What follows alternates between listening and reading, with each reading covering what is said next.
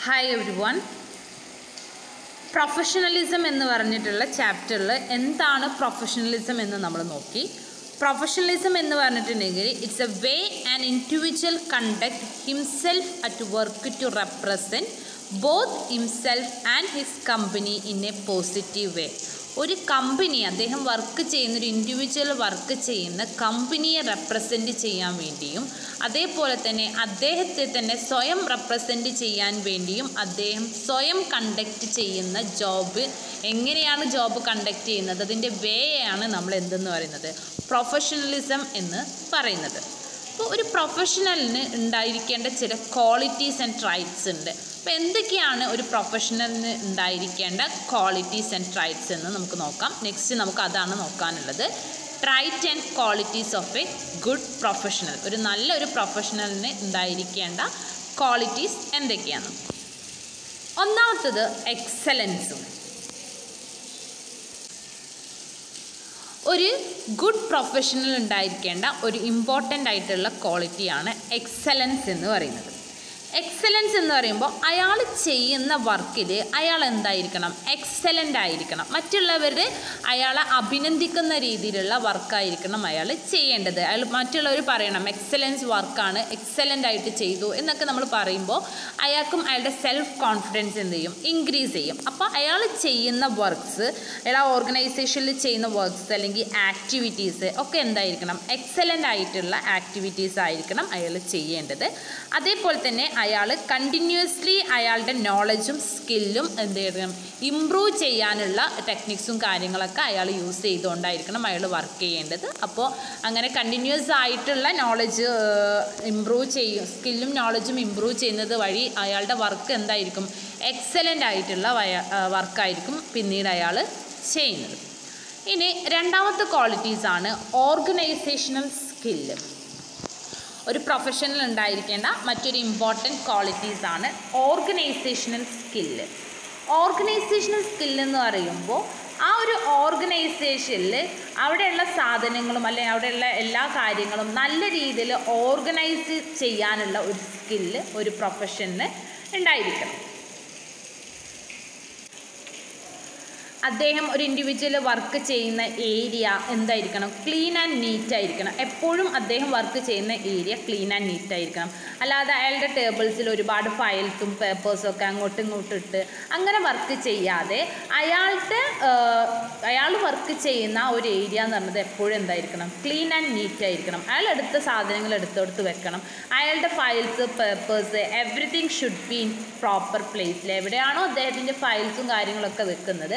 അവിടെ തന്നെ വെക്കുക. അല്ലാതെ വാരി വലിച്ചിടാതെ നല്ല രീതിയിൽ ഓർഗനൈസ് ചെയ്യാം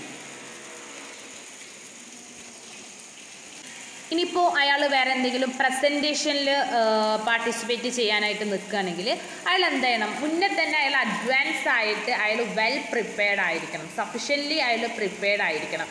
എന്നാൽ മാത്രമേ മറ്റുള്ളവരുടെ മുന്നിലെത്തുമ്പോൾ അയാൾക്ക് എന്തുണ്ടാവായിരിക്കുള്ളൂ കൺഫ്യൂഷൻ ഉണ്ടായിരിക്കുള്ളൂ. നമ്മളിപ്പോൾ എന്തെങ്കിലും പ്രസന്റ് ചെയ്യാൻ പോയി. അപ്പോൾ നമ്മുടെ മുന്നിൽ ഒരുപാട് പ്യൂപ്പിൾസ് ഉണ്ട്. നമ്മൾ വെൽ പ്രിപ്പയർഡ് ആവാതെ പ്രസന്റ് ചെയ്ത് പോയിട്ടുണ്ടെങ്കിൽ നമ്മൾ അവിടെ കിടന്ന് ബബ്ബ പഠിക്കും അപ്പോൾ അതിന് നമ്മൾ നമ്മൾ നല്ല രീതിയിൽ ആദ്യം തന്നെ പ്രസന്റ് ആദ്യം തന്നെ നല്ല അഡ്വാൻസ് ആയിട്ട് നമ്മൾ പ്രസന്റ് ചെയ്യാനുള്ള ആ ഒരു സ്കില്ലൊക്കെ നമ്മൾ ഉണ്ടാക്കിയെടുത്തിട്ട് വേണം നമ്മൾ എന്ത് ചെയ്യേണ്ടത്? പ്രസന്റ് ചെയ്യാനായിട്ട് പോവേണ്ടത്. അപ്പോൾ ഓർഗനൈസേഷൻ സ്കില്ല് എന്ന് പറയുന്നത് അതാണ്. Next time management time management എന്ന് പറയുന്നത് ഒരു പ്രൊഫഷനെ സംബന്ധിച്ചിടത്തോളം ഏറ്റവും ഇമ്പോർട്ടന്റ് ആയിട്ടുള്ള ഒരു കാര്യമാണ് ടൈം മാനേജ്മെന്റ് എന്ന് പറയുന്നത്. നമ്മൾക്ക് കിട്ടിയിട്ടുള്ള നമ്മൾക്ക് എത്രയാണോ നമുക്ക് ചെയ്യാൻ ആ ഒരു വർക്കിന്റെ ടൈം നമുക്ക് കിട്ടിയിട്ടുണ്ടായിരിക്കും. ആ ടൈമിന്റെ ഉള്ളിൽ എന്ത് ചെയ്യണം? ആ ഒരു വർക്ക് കംപ്ലീറ്റ് ചെയ്യുന്ന ആളായിരിക്കണം. അതേപോലെ തന്നെ ഇപ്പോൾ കമ്പനിയിൽ അയാൾ വരേണ്ട ഒരു ടൈം ഉണ്ടായിരിക്കും. കമ്പനിയിൽ വരുന്ന ടൈമും പോകുന്ന ടൈമും അപ്പോൾ ഒമ്പതരക്ക് എത്താൻ പറഞ്ഞാൽ ഒമ്പതരക്ക് തന്നെ എന്ത് ചെയ്യുക കമ്പനിയിലെത്തുക അല്ലാതെ പത്ത് മണിക്ക് എത്താതെ ഒമ്പതരക്ക് തന്നെ എത്തുക. അതുപോലെ അവിടുന്ന് നാല് മണിക്ക് പോകാൻ പറഞ്ഞിട്ടുണ്ടെങ്കിൽ നാല് മണിക്ക് തന്നെ പോവുക. അല്ലാതെ മൂന്നര ആ അതിന്റെ നാല് മണിന്റെ മുന്നായിട്ടൊന്നും പോകാതിരിക്കുക അപ്പം അദ്ദേഹത്തിന് കിട്ടിയിട്ടുള്ള ടൈം എത്രയാണോ ആ ടൈം നല്ല രീതിയിൽ എന്ത് ചെയ്യുക മാനേജ് ചെയ്യാം. അപ്പോൾ ടൈം മാനേജ്മെന്റ് എന്ന് പറയുന്നത് ഒരു പ്രൊഫഷണലെ സംബന്ധിച്ചിടത്തോളം ഏറ്റവും ഇമ്പോർട്ടന്റ് ആയിട്ടുള്ള കാര്യമാണ് ടൈം അദ്ദേഹത്തിന് മാനേജ് ചെയ്യുക എന്നുള്ളത്.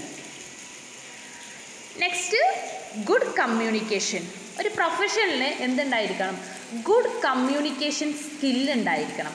അദ്ദേഹത്തിന്റെ ക്ലയൻസുമായിട്ടോ അല്ലെങ്കിൽ കസ്റ്റമേഴ്സുമായിട്ടോ അല്ലെങ്കിൽ അദ്ദേഹത്തിന്റെ സൂപ്പർവൈസേഴ്സുമായിട്ടോ അല്ലെങ്കിൽ സീനിയർ സൂപ്പർ സുപ്പീരിയർ ഓഫീസറുമായിട്ട് കമ്മ്യൂണിക്കേറ്റ് ചെയ്യാനുള്ള ഒരു നല്ല സ്കില്ലായി ആർക്കുണ്ടായിരിക്കണം ഒരു പ്രൊഫഷന് ഉണ്ടായിരിക്കണം. ഇപ്പോൾ സുപ്പീരിയറുമായിട്ട് കമ്മ്യൂണിക്കേറ്റ് ചെയ്യുകയാണെങ്കിൽ നല്ല രീതിയിൽ എന്ത് ചെയ്യുക നല്ലൊരു റിലേഷൻഷിപ്പ് അവരുമായിട്ട് കമ്മ്യൂണിക്കേറ്റ് ചെയ്തിട്ട് മെയിന്റെയിൻ ചെയ്യുക അതേപോലെ തന്നെ കസ്റ്റമേഴ്സുമായിട്ട് നല്ലൊരു കമ്മ്യൂണിക്കേഷൻ മെയിന്റെയിൻ ചെയ്യുക അപ്പോൾ ഈ കസ്റ്റമേഴ്സുമായിട്ടൊക്കെ നല്ലൊരു കമ്മ്യൂണിക്കേഷൻ മെയിന്റെയിൻ ചെയ്യുമ്പോൾ അത് ആരെയും കൂടെ എഫക്റ്റ് ചെയ്യും? കമ്പനിയും കൂടെ നല്ല രീതിയിൽ വളർത്താൻ അത് എഫക്റ്റ് ചെയ്യും. അല്ലാതെ കസ്റ്റമേഴ്സുമായിട്ട് നല്ല രീതിയിൽ ബിഹേവ് ചെയ്യാതെ അപ്പോൾ അവർ നല്ല രീതിയിൽ ബിഹേവ് ചെയ്തിട്ടില്ല എന്നുണ്ടെങ്കിൽ പിന്നെ എന്ത് ചെയ്യില്ല ആ കസ്റ്റമർ അവിടെ വരില്ല അപ്പോൾ ഇത് കമ്പനിയെ സംബന്ധിച്ചിടത്തോളം നഷ്ടമാണ് അത്രയും കസ്റ്റമർ ആ പ്രോഡക്റ്റ് കമ്പനിയിൽ നിന്ന് വാങ്ങിക്കുന്നത് എന്താവും? ഒഴിവാകും ഇതാവും പിന്നെ പ്രൊഡക്റ്റ് വാങ്ങിക്കില്ല. അപ്പോൾ അത് കമ്പനിയെ സംബന്ധിച്ചിടത്തോളം അത് നഷ്ടമാണ് അപ്പോൾ നമ്മൾ എന്ത് ചെയ്യുക നല്ലൊരു കമ്മ്യൂണിക്കേഷൻ സ്കില്ല് നമ്മൾ കസ്റ്റമേഴ്സുമായിട്ടോ ക്ലയൻസുമായിട്ടോ കമ്പനിയുമായിട്ടോ അല്ലെങ്കിൽ സുപ്പീരിയേഴ്സുമായിട്ടോ സബോർഡിനേറ്റുമായിട്ടോ നമ്മൾ എന്ത് ചെയ്യുക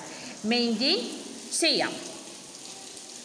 നെക്സ്റ്റ് സോഫ്റ്റ് സ്കിൽസ് പിന്നെ ഒരു പ്രൊഫഷനിൽ ഉണ്ടായിരിക്കേണ്ട വേറൊരു ക്വാളിറ്റിയാണ് സോഫ്റ്റ് സ്കില്ലായിരിക്കണം അല്ലാതെ ഹാർഡായിട്ടുള്ള രീതിയിലൊന്നും പെരുമാറാതെ കസ്റ്റമേഴ്സുമായിട്ടോ അല്ലെങ്കിൽ ക്ലയൻസുമായിട്ടോ അല്ലെങ്കിൽ അദ്ദേഹത്തിന്റെ സുപ്പീരിയേഴ്സുമായിട്ടോ അല്ലെങ്കിൽ സബോർഡിനേറ്റ്സുമായിട്ടോ നല്ല രീതിയിൽ എന്ത് ചെയ്യുക ബിഹേവ് ചെയ്യുക പെട്ടെന്ന് ചൂടാവാതെ. നല്ല സോഫ്റ്റ് ആയിട്ട് തന്നെ നിൽക്കുക. അപ്പോൾ ഒരു കസ്റ്റമർ വന്നു എന്തൊക്കെയോ ആ കസ്റ്റമർ പറയുന്നുണ്ട്. പക്ഷേ ഇയാൾക്ക് ദേഷ്യം വരുന്നുണ്ട്. പക്ഷേ ഇയാൾ എന്ത് ചെയ്യണം? അത് സ്വാഭാവികമായിട്ടും ഇയാൾ കൺട്രോൾ ചെയ്യണം. അല്ലാതെ ആ കസ്റ്റമേഴ്സിനെ ചീത്ത പറയുക അല്ലെങ്കിൽ ഇറങ്ങിപ്പോകാൻ പറയുക അങ്ങനെയൊന്നും ചെയ്യാൻ പാടില്ല. അപ്പോൾ അതെന്തായിരിക്കും കമ്പനീനെ ബാധിക്കും. സോ കമ്പനീനെ ബാധിച്ചാൽ തന്നെ അയാൾക്ക് എന്ത് ചെയ്യും? അയാൾ അവിടെ നിന്ന് പറഞ്ഞിടും അപ്പോൾ എന്ത് ചെയ്യുക നല്ല രീതിയിൽ അദ്ദേഹത്തെ കസ്റ്റമേഴ്സുമായിട്ട് എന്ത് ചെയ്യുക ബിഹേവ് ചെയ്യുക സോഫ്റ്റ് ആയിട്ടുള്ള സ്കില്ല് അദ്ദേഹത്തിന്റെ ഇമോഷൻസും ആങ്കിലും കാര്യങ്ങളൊക്കെ എന്ത് ചെയ്യുക അത് കൺട്രോൾ ചെയ്തുകൊണ്ട് നല്ല സോഫ്റ്റ് ആയിട്ടുള്ള മെയിൻഡിലാണ് സുപ്പീരിയേഴ്സുമായിട്ടോ അല്ലെങ്കിൽ സീനിയർ സിറ്റിസൺസുമായിട്ടോ അദ്ദേഹം കമ്മ്യൂണിക്കേറ്റ് ചെയ്യേണ്ടത് നെക്സ്റ്റ് വരുന്നത് പോസിറ്റീവ് ആറ്റിറ്റ്യൂഡ് ഒരു പ്രൊഫഷനിൽ എന്തുണ്ടായിരിക്കണം? പോസിറ്റീവായിട്ടുള്ള ആറ്റിറ്റ്യൂഡ് ഉണ്ടായിരിക്കണം. എല്ലാ പ്രൊഫഷണൽസിന്റെയും ഒരു ഒബ്ലിഗേഷനാണ് അദ്ദേഹം വർക്ക് ചെയ്യുമ്പോൾ എങ്ങനെ വർക്ക് ചെയ്യുക ഒപ്റ്റിമിസ്റ്റിക് ആറ്റിറ്റ്യൂഡായിട്ട് പെസിമിസ്റ്റിക് ആപ്റ്റിറ്റ്യൂഡ് ആറ്റിറ്റ്യൂഡ് അല്ലാതെ ഒപ്റ്റിമി ഒപ്റ്റിമിസ്റ്റിക് ആപ്റ്റിറ്റ്യൂഡായിട്ട് എന്ത് ചെയ്യുക? ആറ്റിറ്റ്യൂഡായിട്ട് വർക്ക് ചെയ്യുക എന്നുള്ളത്. ഒരു ഒപ്റ്റിമിറ്റി ഒപ്റ്റിമിസ്റ്റിക് ആറ്റിറ്റ്യൂഡ് മെയിന്റെയിൻ ചെയ്യുക എന്നുള്ളത് ഒരു പ്രൊഫഷണലെ സംബന്ധിച്ചിടത്തോളം ഒരു ഇമ്പോർട്ടന്റ് ആയിട്ടുള്ള കാര്യമാണ് ഇപ്പോൾ പ്രൊഫഷണൽ ആ ഫാമിലിയിൽ ഇപ്പോൾ അയാൾ രാവിലെ വരുമ്പോൾ ആ കമ്പനിയിലോട്ട് രാവിലെ വരുമ്പോൾ അയാളുടെ ഫാമിലിയിൽ നിന്നും എന്തെങ്കിലും പ്രോബ്ലംസ് കാര്യങ്ങളൊക്കെ ഉണ്ടായിട്ടുണ്ടായിരിക്കാം. പക്ഷേ ആ കാര്യങ്ങളൊന്നും എവിടെ കൊണ്ടുവരാൻ പാടില്ല? കമ്പനിയിൽ കൊണ്ടുവരാൻ കൊണ്ടുവരാൻ പാടില്ല. അതെന്താ? ആ ഒരു കാര്യം വെച്ചിട്ട് എന്ത് ചെയ്യാൻ പാടില്ല? വർക്ക് ചെയ്യാൻ പാടില്ല. അത് എന്ത് കാര്യം ആയിക്കോട്ടെ ബാഡ് ആയിക്കോട്ടെ ഗുഡ് ആയിക്കോട്ടെ എന്ത് ആയിക്കോണെങ്കിലും എന്ത് ചെയ്യണം? അദ്ദേഹം കമ്പനിയിൽ പോസിറ്റീവ് ആറ്റിറ്റ്യൂഡ് കൂടി ആയിരിക്കണം വർക്ക് ചെയ്യേണ്ടത്. അങ്ങനത്തെയുള്ള ഇമോഷണൽ കാര്യങ്ങളൊന്നും എന്ത് ചെയ്യാൻ പാടില്ല. അയാളുടെ ജോബിനെ എഫക്റ്റ് ചെയ്യാതെ അയാൾ പോസിറ്റീവ് ആറ്റിറ്റ്യൂഡ് കൂടെ ആയിരിക്കണം അയാൾ ജോബ് ചെയ്യേണ്ടത്. Next focus and hard work അദ്ദേഹം ചെയ്യുന്ന ആ ഒരു ഇൻഡിവിജ്വൽ ചെയ്യുന്ന ജോബിൽ എന്ത് ചെയ്യണം? അയാൾ ഫോക്കസ് ചെയ്യണം. എന്താണോ അയാൾക്ക് ഒബ്ജക്റ്റ് കൊടുത്തിട്ടുള്ളത്? എന്താണോ അയാൾക്ക് വർക്ക് കൊടുത്തിട്ടുള്ളത്? ആ വർക്കിൽ അദ്ദേഹം എന്ത് ചെയ്യണം? ഫോക്കസ് ചെയ്യണം. അല്ലാതെ മറ്റുള്ള കാര്യങ്ങളിൽ ഫോക്കസ് ചെയ്യാതെ അവിടെ മറ്റുള്ളവരുമായിട്ട് സംസാരിച്ചിരിക്കാതെ അയാൾക്ക് എന്താണോ വർക്ക് കൊടുത്തിട്ടുള്ളത് അതിൽ ഫോക്കസ് ചെയ്തുകൊണ്ട് വർക്ക് ചെയ്യണം. ദെൻ ഹാർഡ് വർക്ക് നല്ല ഹാർഡ് വർക്ക് ചെയ്തിട്ടായിരിക്കണം എന്ത് ചെയ്യേണ്ടത്? അയാൾ വർക്ക് ചെയ്യേണ്ടത്. നെക്സ്റ്റ് എത്തിക്കൽ ബിഹേവിയർ നമുക്കറിയാം ചില പ്രൊഫഷണൽസിന് ചില എത്തിക്സ് ഉണ്ടായിരിക്കും. എത്തിക്സ് എന്ന് പറയുന്നത് ഒരു ഇമ്പോർട്ടന്റ് ആണ് ഒരു പ്രൊഫഷണലെ സംബന്ധിച്ചിടത്തോളം. ആ എത്തിക്സിനനുസരിച്ച് ആ എത്തിക്സിനെ ബേസ് ചെയ്തുകൊണ്ടായിരിക്കണം എന്ത് ചെയ്യേണ്ടത്? ബിഹേവ് ചെയ്യേണ്ടത്. ഫോർ എക്സാമ്പിൾ ഇപ്പോൾ ഡോക്ടർ ഡോക്ടറിന് ചില എത്തിക്കൽ കോഡ്സ് ഉണ്ട്. എത്തിക്കൽ ചില എത്തിക്കൽ കോഡ്സ് ഉണ്ട്. ആ എത്തിക്കൽ കോഡ്സിനനുസരിച്ചിട്ടായിരിക്കണം അയാൾ എന്ത് ചെയ്യേണ്ടത്? ആ ഹോസ്പിറ്റലിൽ വർക്ക് ചെയ്യേണ്ടത്. അല്ലാതെ അതിന് എഗെയിൻസ്റ്റ് ആയിട്ട് ഹോസ്പിറ്റലിൽ വർക്ക് ചെയ്തിട്ടുണ്ടെങ്കിൽ എന്തായിരിക്കും? അയാളെ പിടിച്ച് പുറത്താക്കും. അപ്പോൾ അവരുടെ എത്തിക്കൽ കോഡ്സിനനുസരിച്ചിട്ടായിരിക്കണം അത് അവരെന്ത് ചെയ്യേണ്ടത്? ബിഹേവ് ചെയ്യേണ്ടത്. എത്തിക്കൽ എത്തിക്സ് എന്ന് പറയുമ്പോൾ എന്താണോ നമ്മൾ ചെയ്യ നല്ലത് എന്താണോ ചെയ്യേണ്ടത് അതാണ് എത്തിക്സ് എന്ന് പറയുന്നത്. അപ്പോൾ ഇതാണ് എത്തിക്കൽ ബിഹേവിയർ എത്തിക്സുമായിട്ട് എത്തിക്കൽ കോഡോടുമായിട്ടായിരിക്കണം ബിഹേവ് മറ്റുള്ളവരുമായിട്ട് ബിഹേവ് ചെയ്യേണ്ടത്. നെക്സ്റ്റ് കണ്ടിന്യൂസ് ലേണിങ് ഒരു എംപ്ലോയി അല്ലെങ്കിൽ ഒരു പ്രൊഫഷണലെ സംബന്ധിച്ചിടത്തോളം എന്തായിരിക്കണം? അല്ല അപ് ടു ഡേറ്റ് ആയിരിക്കണം. കണ്ടിന്യൂസ് ആയിട്ടുള്ള ലേണിംഗ് ഉണ്ടായിരിക്കണം. അല്ലാതെ അയാളിപ്പോൾ അയാളിപ്പോൾ ജോബിൽ കയറിയപ്പോൾ അയാൾക്ക് ചില അക്കാഡമിക് ക്വാളിഫിക്കേഷൻ ഉണ്ടായിരുന്നു. ആ ക്വാളിഫിക്കേഷൻ മാത്രം അതിലൊതുക്കാതെ അയാൾ എന്ത് ചെയ്യണം? കണ്ടിന്യൂസ് ആയിട്ട് ലേൺ ചെയ്തുകൊണ്ടേ ഇരിക്കണം. അയാൾ വർക്ക് ചെയ്യുമ്പോഴും അയാൾ എന്ത് ചെയ്യണം? ലേൺ ചെയ്തുകൊണ്ടേ ഇരിക്കണം. അതായത് അയാളുടെ നോളജ് അപ് ടു ഡേറ്റ് ആയിരിക്കണം. അപ് ടു ഡേറ്റ് ആണെങ്കിൽ മാത്രമേ നമുക്ക് എന്ത് ചെയ്യാൻ പറ്റൂ? നല്ല രീതിയിൽ ആ ഓർഗനൈസേഷന് നല്ല രീതിയിൽ നമുക്ക് വർക്ക് ചെയ്യാനായിട്ട് കഴിയുള്ളൂ. അതാണ് continuous learning then seeks advice എന്ത് ചെയ്യണം? മറ്റുള്ളവരിൽ നിന്ന് നമ്മൾ അഡ്വൈസ് സ്വീകരിക്കണം. അല്ലാതെ നമ്മൾ നമ്മുടെ ഇഷ്ടപ്രകാരം എന്ത് ചെയ്യാൻ പാടില്ല ചെയ്യാൻ പാടില്ല. അപ്പോൾ സപ്പോസ് ഒരു ഓർഗനൈസേഷനിൽ എന്തെങ്കിലും പ്രോബ്ലം വന്നു. എന്ത്? അപ്പോൾ നമ്മൾ അതിനൊരു സൊല്യൂഷൻ കണ്ടെത്തണം. അപ്പോൾ നമുക്ക് ആ പ്രോബ്ലം എങ്ങനെയാണ് സോൾവ് ചെയ്യേണ്ടത് നമുക്കറിയില്ല. അങ്ങനത്തെ ഒരു കേസിലാണെങ്കിൽ നമ്മൾ എന്ത് ചെയ്യുക നമ്മുടെ സീനിയർ ഓഫീസറുമായിട്ട് സംസാരിച്ച് അദ്ദേഹത്തിൽ നിന്നും നമ്മൾ അഡ്വൈസ് സിക്സ് ഡിവൈസ് അല്ലേ? സിക്സ് അഡ്വൈസ് ആണ് അവിടെ പ്രിന്റ് ചെയ്തപ്പോൾ ടൈപ്പ് ചെയ്തപ്പോൾ തെറ്റിയതാണ്. അപ്പം നമ്മൾ എന്ത് ചെയ്യാം സുപ്പീരിയർ ആയിട്ടുള്ള ഓഫീസേഴ്സുമായിട്ട് നമ്മൾ സംസാരിച്ചിട്ട് അവരിൽ നിന്നുള്ള അഡ്വൈസ് നമ്മൾ സ്വീകരിക്കുക. അതിനനുസരിച്ചിട്ട് നമ്മൾ എന്ത് ചെയ്യുക പ്രോബ്ലം സോൾവ് ചെയ്യുക അല്ലാതെ നമ്മൾ ഈഗോ കാണിച്ചിട്ട് ഞാൻ തന്നെ ആ പ്രോബ്ലം സോൾവ് ചെയ്യും. എനിക്ക് ആരും അഡ്വൈസ് വേണ്ട എന്നൊന്നും വിചാരിക്കാതെ നമ്മൾ എന്ത് ചെയ്യുക മറ്റുള്ളവരിൽ നിന്നും അഡ്വൈസ് നല്ലതാണെങ്കിൽ മാത്രം നമ്മൾ എന്ത് ചെയ്യുക സ്വീകരിക്കുക. അതിനനുസരിച്ചിട്ട് നമ്മൾ ആ പ്രോബ്ലം സോൾവ് ചെയ്യാം. ഇത്രയൊക്കെയാണ് ഒരു ഗുഡ് പ്രൊഫഷണൽ ഉണ്ടായിരിക്കേണ്ട ചില ക്വാളിറ്റീസ് എക്സലൻസ് അദ്ദേഹത്തിന്റെ വർക്ക് എക്സലൻസ് ആയിരിക്കണം. ദെൻ ഓർഗനൈസേഷൻ സ്കിൽ ഉണ്ടായിരിക്കണം. Time management good communication soft skills positive attitude focus and hard work ethical behaviour continuous learning seeks ഡിവൈ advice ഇത്രയാണ് ഒരു ഗുഡ് പ്രൊഫഷണൽ ഉണ്ടായിരിക്കേണ്ട qualities next professionalism in business professionalism എന്ന് പറഞ്ഞിട്ടുള്ള term നമ്മൾ ബിസിനസ്സിൽ കൊണ്ടുവരികയാണെങ്കിൽ എന്തൊക്കെയാണ് ബിസിനസ്സിന് ഉണ്ടായിരിക്കാൻ ബിസിനസ് അപ്പോൾ എന്തൊക്കെയാണ് ബിസിനസ്സിന് ഉണ്ടാവുന്ന ഗ്രോത്ത് അല്ലെങ്കിൽ അതിന്റെ അഡ്വാന്റേജസ് നോക്കാം. പ്രൊഫഷണലിസം ഇൻ ബിസിനസ് ഈ ഒരു professional business is necessary for the long term success of a business ഒരു ബിസിനസ്സിന്റെ whether is a big corporation or small business big organisation ആണെങ്കിലും സ്മോൾ ഓർഗനൈസേഷൻ ആണെങ്കിലും ഏത് ഓർഗനൈസേഷൻ ആയിക്കോട്ടെ ഈ ഒരു പ്രൊഫഷണൽ ബിഹേവിയർ നമ്മൾ കൊണ്ടുവരുമ്പോൾ എന്ത് ചെയ്യും? ആ ഒരു ബിസിനസ്സിന്റെ സക്സസ്സിനെ അത് ഇൻഫ്ലുവൻസ് ചെയ്യും. നമ്മൾ ഇപ്പോൾ ഒരു ബിസിനസ്സിൽ പ്രൊഫഷണൽ ആയിട്ടുള്ള ബിഹേവിയർ ആണ് കൊണ്ടുവരുന്നുണ്ടെങ്കിൽ നമ്മുടെ ബിസിനസ്സിന്റെ സക്സസ്സിനെ അത് എഫക്റ്റ് ചെയ്യും. അപ്പോൾ ഒരു പ്രൊഫഷണൽ പ്രൊഫഷണലിസം എന്ന് പറഞ്ഞിട്ടുള്ള ആ ഒരു ബിഹേവിയറിൽ ബിസിനസ്സിൽ കൊണ്ടുവരിക എന്നുള്ളത് അതിന്റെ സക്സസ്സിനെ ഏറ്റവും ഇമ്പോർട്ടന്റ് ആയിട്ടുള്ള കാര്യമാണ്. അപ്പോൾ ഈ ഒരു പ്രൊഫഷണൽ ബിഹേവിയർ നമ്മൾ എന്ത് ചെയ്യണം? ബിസിനസ്സിൽ കൊണ്ടുവരണം. അപ്പോൾ അത് ബിസിനസ്സിന്റെ ഗ്രോത്തിനെ ഗ്രോത്ത് ഉണ്ടാവാൻ വേണ്ടിയിട്ട് ഹെൽപ്പ് ചെയ്യും. Then employee interactions and relationship with customers are of vital importance to ensure that company goals and objectives are met കമ്പനിയുടെ ഗോൾസ് ആൻഡ് ഒബ്ജക്റ്റീവ്സ് മെറ്റ് ചെയ്യാൻ വേണ്ടിയിട്ട് നമ്മൾ കസ്റ്റമേഴ്സുമായിട്ടോ അല്ലെങ്കിൽ നമ്മുടെ ക്ലയൻസുമായിട്ടോ നല്ലൊരു എംപ്ലോയിയുമായി ക്ലയൻസും കസ്റ്റമേഴ്സും തമ്മിൽ എന്ത് ചെയ്യണം? നല്ലൊരു employee interactions and relationship maintain ചെയ്യാനായിട്ട് ഈ ഒരു പ്രൊഫഷണലിസം ഹെൽപ്പ് ചെയ്യും. അപ്പോൾ ഈ ഒരു പ്രൊഫഷണലിസം നമ്മൾ എവിടെ കൊണ്ടുവരണം? ബിസിനസ്സിൽ കൊണ്ടുവരണം. അത് ബിസിനസ്സിന്റെ ഗ്രോത്തിനെ ഹെൽപ്പ് ചെയ്യും. അപ്പോൾ എന്തൊക്കെയാണ് ഈ ഒരു പ്രൊഫഷണലിസം നമ്മൾ ബിസിനസ്സിൽ കൊണ്ടുവരുമ്പോൾ എന്തൊക്കെ ഗ്രോത്താണ് നമുക്ക് ഉണ്ടാവുന്നത് നോക്കാം. ഒന്നാമത്തത് establishes proper boundaries establishes proper boundaries എന്ന് പറയുമ്പോൾ നമ്മുടെ കമ്പനിയിൽ ഒരു പ്രോപ്പറായിട്ടുള്ള ബൗണ്ടറി നമുക്ക് എസ്റ്റാബ്ലിഷ് ചെയ്യാനായിട്ട് കഴിയും. നമ്മൾ എന്തൊക്കെ വർക്ക് ചെയ്യണം എന്തൊക്കെ വർക്ക് ചെയ്യേണ്ട ഒരു ഒരു ബൗണ്ടറി ഉണ്ടായിരിക്കും. ആ ബൗണ്ടറിയിൽ നമ്മൾ അതിന്റെ ഉള്ളിൽ നമ്മൾ എന്തൊക്കെ വർക്ക് ചെയ്യണം എന്തൊക്കെ വർക്ക് ചെയ്യേണ്ട നമുക്ക് അപ്രോപ്രിയേറ്റ് ആയിട്ടുള്ള വർക്ക് ഏതൊക്കെയാണ് എന്നുള്ള കാര്യം നമുക്ക് മനസ്സിലാക്കാനായിട്ട് കഴിയും. ഈ ഒരു പ്രോപ്പർ ബൗണ്ടറീസ് എസ്റ്റാബ്ലിഷ് ചെയ്യുകയാണെങ്കിൽ ഇങ്ങനെ ബൗണ്ടറീസ് എസ്റ്റാബ്ലിഷ് ചെയ്യുന്നത് വഴി എംപ്ലോയീസിന് എന്ത് ചെയ്യാൻ അവരുടെ വർക്ക് അവരുടെ വർക്ക് എൻവയോൺമെന്റ് എൻജോയ് ആയിട്ട് എന്ത് ചെയ്യാൻ പറ്റും? അവർക്ക് ചെയ്യാനായിട്ട് കഴിയും.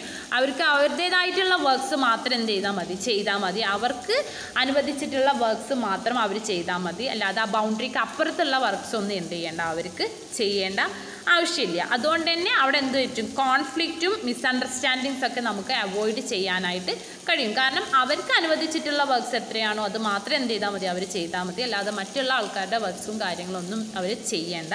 അതുകൊണ്ട് തന്നെ അവിടെ നമുക്ക് മിസ്അണ്ടർസ്റ്റാൻഡിങ്സ് വർക്ക്സ് വർക്ക്സ് തമ്മിലുള്ള mix under misunderstandings conflict works workers തമ്മിലുള്ള കോൺഫ്ലിക്ട്സ് ഒക്കെ നമുക്ക് അവോയ്ഡ് ചെയ്യാനായിട്ട് കഴിയും.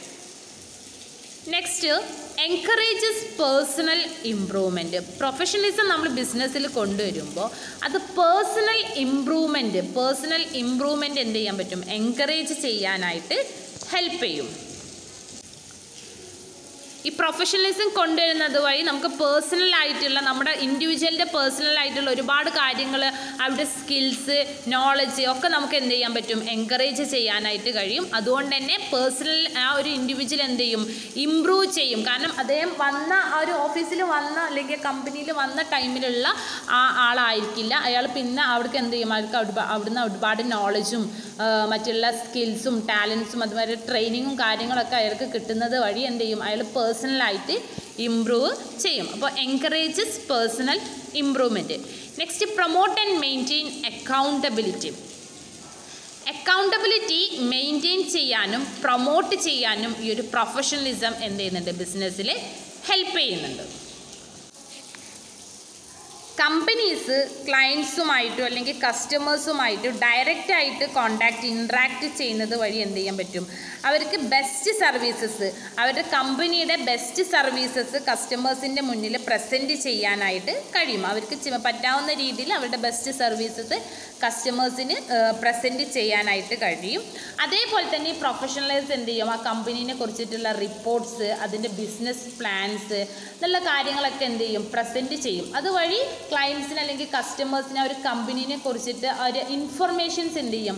അവർക്ക് കിട്ടും. അത് വഴി കമ്പനി നമുക്കിപ്പോൾ ഒരു ഷെയർസ് നമ്മൾ പർച്ചേസ് ചെയ്യുന്നുണ്ടെങ്കിൽ നമുക്ക് എന്ത് ചെയ്യാൻ പറ്റും? നമുക്ക് ആ കമ്പനീനെ ഈ ഒരു ആ ഒരു പ്രൊഫഷണൽസ് തയ്യാറാക്കിയിട്ടുള്ള റിപ്പോർട്ട് നോക്കിയിട്ടുണ്ടെങ്കിൽ നമുക്ക് മനസ്സിലാക്കാനായിട്ട് കഴിയും. എന്തൊക്കെയാണ് ആ കമ്പനി എന്തൊക്കെയാണ് അതിന്റെ എക്കണോമിക് വയബിലിറ്റി എങ്ങനെയാണ് അതിന്റെ ഫിനാൻഷ്യൽ വയബിലിറ്റി എങ്ങനെയാണ് എന്നുള്ള കാര്യങ്ങളൊക്കെ നമുക്ക് മനസ്സിലാക്കാനായിട്ട് കഴിയും.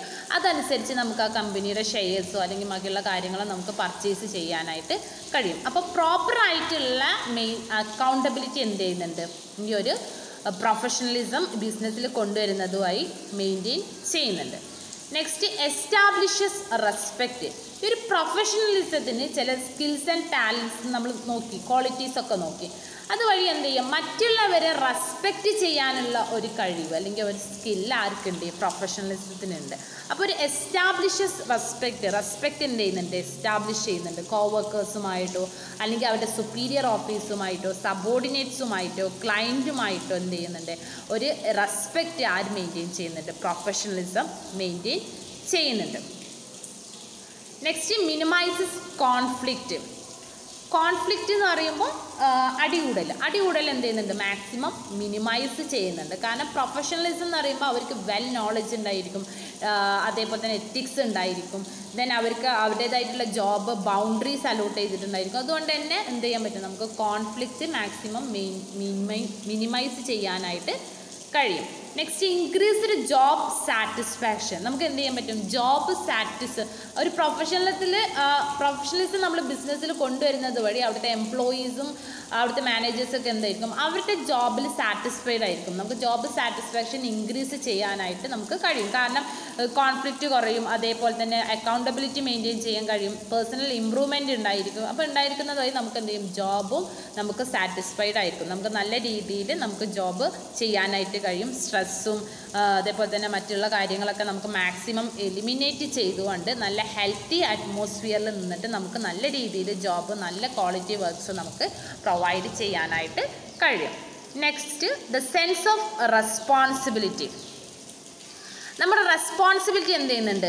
ഇൻക്രീസ് ചെയ്യുന്നുണ്ട്. നമുക്ക് നല്ല രീതിയിൽ മറ്റുള്ളവരുമായിട്ട് റെസ്പോൺസിബിൾ ആയിരിക്കും. നമ്മളിപ്പോൾ സുപ്പീരിയറുമായിട്ട് റെസ്പോൺസിബിൾ ആയിരിക്കും. അതേപോലെ തന്നെ നമ്മൾ സബോർഡിനേറ്റ്സുമായിട്ട് ഒക്കെ നമ്മൾ അക്കൗണ്ട് അതോറിറ്റി റെസ്പോൺസിബിലിറ്റി ഒക്കെ ഉണ്ടായിരിക്കും നമുക്ക്.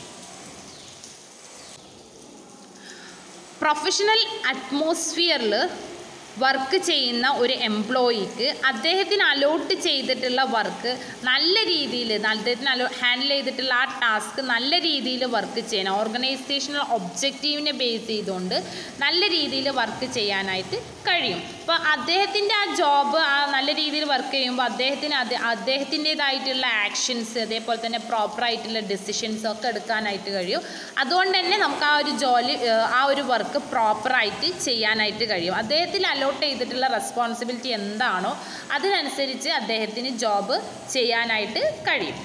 Sense of responsibility then personal growth professionalism എന്ത് ചെയ്യുന്നുണ്ട്? ജോബ് അഡ്വാൻസ്മെന്റ് ഉണ്ടാക്കുന്നുണ്ട്. ജോബ് അഡ്വാൻസിന് മാത്രം ഹെൽപ്പ് ചെയ്യില്ല but also provide certain dignity and pride in one's work and responsibility ഒരു ഇൻഡിവിജ്വൽസിന്റെ വർക്ക്സ് ആൻഡ് റെസ്പോൺസിബിലിറ്റി ജോ റെസ്പോൺസിബിലിറ്റിയിൽ ജോബ് അഡ്വാൻസ്മെന്റ് മാത്രമല്ല അതിൽ ഡിഗ്നിറ്റി ആൻഡ് പ്രൈഡ് ഒക്കെ എന്ത് ചെയ്യുന്നുണ്ട്? പ്രൊവൈഡ് ചെയ്യുന്നുണ്ട്. അപ്പോൾ അതേപോലെ തന്നെ നമുക്ക് നല്ല കമ്മ്യൂണിക്കേഷൻ സ്കിൽ ഉണ്ടായിരിക്കും. അതേപോലെ തന്നെ നമുക്ക് ഏതൊക്കെ ജോബ് ചെയ്യണം എന്നുള്ള ആ ഒരു ഇതുണ്ടായിരിക്കും നമുക്ക് ബൗണ്ടറീസ് ഉണ്ടായിരിക്കും. ദെൻ പേഴ്സണൽ ഇമ്പ്രൂവ്മെന്റ് ഇൻക്രീസ് ചെയ്യുന്നുണ്ട്. അതുകൊണ്ടൊക്കെ തന്നെ നമുക്ക് പേഴ്സണലായിട്ട് എന്ത് ചെയ്യും? ഗ്രോത്ത് ഉണ്ടാവും. നമുക്കൊരു ഇപ്പോൾ ഒരു ഓർഗനൈസേഷനിൽ ഒരു പ്രോബ്ലംസ് വന്നിട്ടുണ്ടെങ്കിൽ നമുക്കൊരു ഇമോഷണൽ ആയിട്ടുള്ള എന്തെങ്കിലും പ്രോബ്ലംസ് ഉണ്ടായിട്ടുണ്ടെന്നുണ്ടെങ്കിൽ നമുക്ക് എന്ത് ചെയ്യും? അത് നല്ല രീതിയിൽ ഒരു പ്രൊഫഷണലിസം ബിസിനസ് കൊണ്ടുവരികയാണെങ്കിൽ നല്ല രീതിയിൽ ഹാൻഡിൽ ഹാൻഡിൽ ചെയ്യാനായിട്ട് നമുക്ക് കഴിയും. അതൊരു പേഴ്സണൽ ആ ഇൻഡിവിജ്വലിനെ സംബന്ധിച്ചിടത്തോളം പേഴ്സണൽ ഗ്രോത്താണ് അപ്പോൾ ഇത്രയൊക്കെയാണ് ഒരു പ്രൊഫഷണലിസത്തിന് ബിസിനസ്സിൽ ഉണ്ടായിരിക്കേണ്ട ബിസിനസ്സിൽ പ്രൊഫഷണലിസം കൊണ്ടുവരുമ്പോൾ ബിസിനസ്സിൽ ഉണ്ടായിരിക്കേണ്ട ഉണ്ടായിരുന്ന അഡ്വാന്റേജസ് ഇത്രയാണ്. Establish proper boundaries encourages personal improvement promote and maintain accountability establishes respect minimises conflict increased job satisfaction the sense of responsibility personal growth അപ്പോൾ നമ്മൾ ഇന്ന് ഡിസ്കസ് ചെയ്തിട്ടുണ്ടായിരുന്നത് എന്തൊക്കെയാണ് traits and qualities of a good professional ഉണ്ടായിരിക്കേണ്ട qualities and traits നോക്കി. അതേപോലെ തന്നെ ഒരു പ്രൊഫഷണലിസം നമ്മൾ ബിസിനസ്സിൽ കൊണ്ടുവരുമ്പോൾ എന്തൊക്കെയാണ് അതിന്റെ അഡ്വാന്റേജസ് നോക്കി. അപ്പോൾ ഈ രണ്ട് കാര്യങ്ങളാണ് നമ്മൾ ഇന്നത്തെ ക്ലാസ്സിൽ ഡിസ്കസ് ചെയ്തത്. അപ്പോൾ ഓക്കെ താങ്ക്